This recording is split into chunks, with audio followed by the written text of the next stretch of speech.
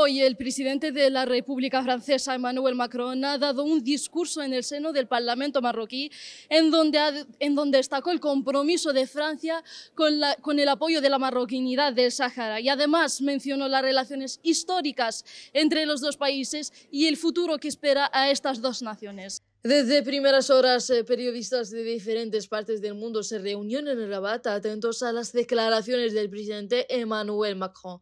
Macron retiró el apoyo firme de Francia a la soberanía de Marruecos sobre el Sáhara.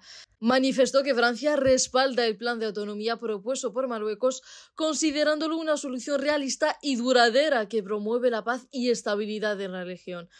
Durante su discurso, el presidente Macron reconoció el liderazgo de Marruecos en África y subrayó el papel clave que el país juega en asuntos de seguridad, migración y desarrollo sostenible, temas esenciales eh, para la estabilidad del Mediterráneo y del continente africano. También anunció nuevos proyectos de cooperación bilateral en educación, tecnología y energía renovable, reflejando el interés de Francia en acompañar a Marruecos en su crecimiento y modernización.